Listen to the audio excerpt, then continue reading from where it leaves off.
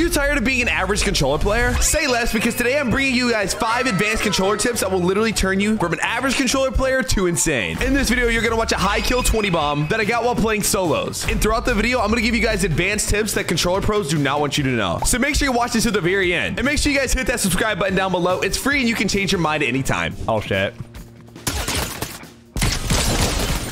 The hell? From the top rope. Swanton bomb. Boom! So one of my biggest tips that I would give any controller player is that in order to get better, you have to step out of your comfort zone, guys. You need to start pushing as many players as possible and being as aggressive as possible because in the end, that is the main thing that's going to improve you in overall skill, fighting ability, awareness, and more. You have to be aggressive if you want to really take your game to the next level.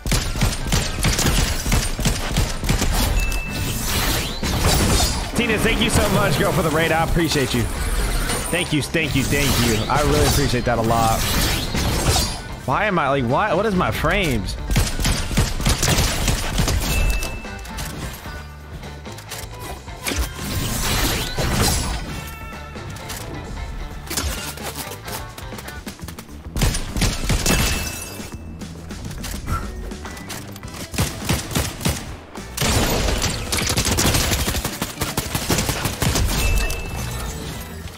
Tip number two, what you need to be focusing on as a controller player is positioning. Now, as you can see, I see this kid and I take note of everything in the room and I actually hide behind that little blind. As a controller player, you need to analyze who you're facing and try to decipher if you're fighting a keyboard player or another controller player. If you're fighting a keyboard player, your best option is to not box fight because they have scroll wheel reset and all better mechanics for box fights. Your best bet is to try to build fight them and maintain high ground, or if they really want to fight you, pull out your SMG and do not stop spraying. Now I know my ABCs. Next time, won't you sing with me? Come on, bro. No, you're so good, bro, right? You're so good. Take the boom battle with me, and you had the HP advantage.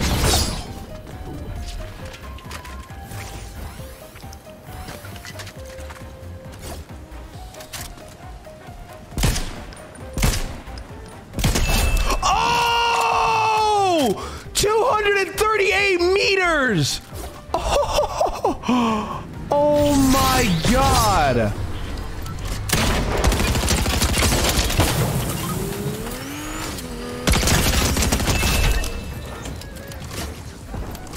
That was crazy. Wow. I just killed someone from 238 meters away while singing the ABCs. So it's like, they kind of plan themselves.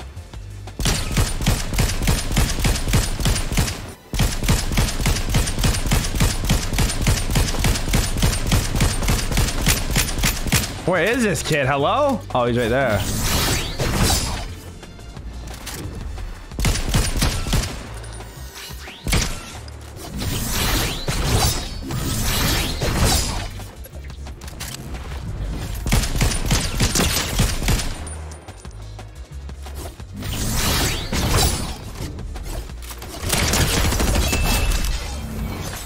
W's.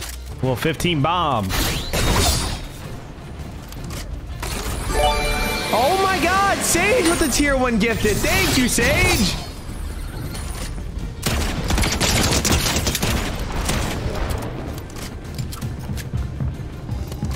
Oh my god, Myron with the 5 gifted. This is what I'm talking about, TikTok. This is what you guys are missing over here on the Switch, man.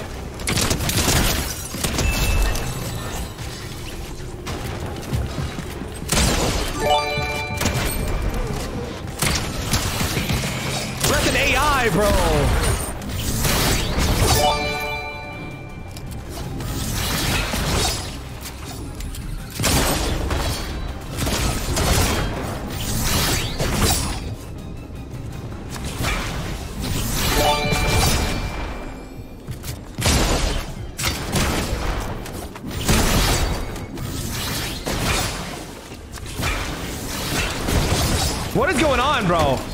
Uh oh.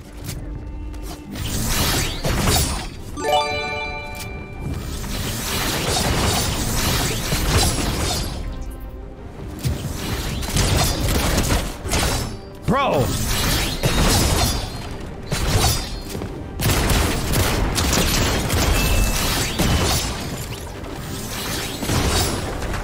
Brother. My God, bro. What is going on? What is this game? Scooby with the 10 gifted. Wait, do I have to put on a maid costume? I'm, oh no. No shot. No shot I have to put on a maid costume, right? There's no way.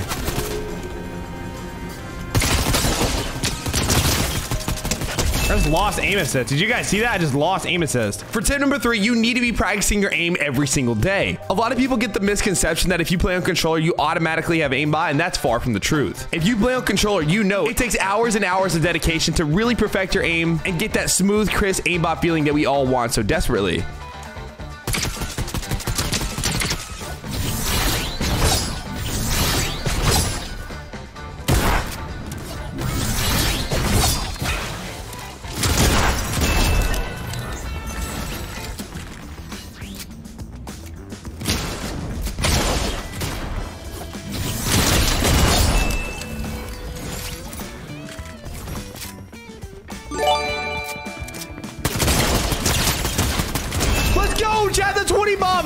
Oh my God. For tip number four is probably one of my biggest tips is choose a setting and stick to it. A lot of you guys switch your controller settings every day or every week or even every month. And that is just ridiculous. You are never going to get better if you keep switching your setting because your brain has to readapt to that playstyle and learn how to play again. So one of my biggest tips is find a setting that you truly enjoy and never change it and watch how exponential you grow as a controller player. But where is this kid?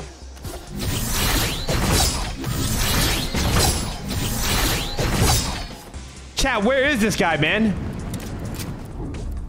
Hello? Mom, Dad? Where is this guy, bro?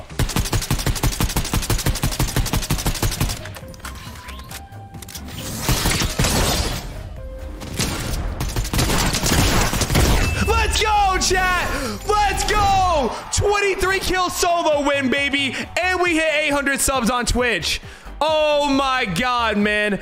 Oh my freaking god. And for tip number five is going to be play the game more. Now, I know this may sound cliche, but I'm serious. Play any tournament you can, any zone war, any token. 1v1 people on Twitch, it literally does not matter. But make sure you are playing with the intent of getting good. Make sure you're not just playing to play and playing because you're bored. If you're serious about becoming a pro controller player or just improving in general, you have to take this craft serious just like anything else. Ladies and gentlemen, here are the controller settings you guys want to be using if you want to have top tier aim just like me in the brand new Chapter 4 Season 2. I play on 5-5 Dead Zone, 12 12 12 ADS, look horizontal and vertical speed. I also play on 43 43 for both my horizontal and vertical, as well as 2.2 by 2.2 build and edit mode multiplier. Now, who knows? I might switch these settings up during the season, so make sure you guys stay tuned. And moving on over here to my binds, here we have the binds. And guys, if you guys are new here, don't forget to hit that subscribe button. We're going to be daily uploading every single day in the new chapter. And I'm also live right now on Twitch. If you guys want to come through and support your boy, it would really mean the world to me. I'm going to be doing a 12 hour stream today with the new season. These are the new settings, guys. Enjoy so much.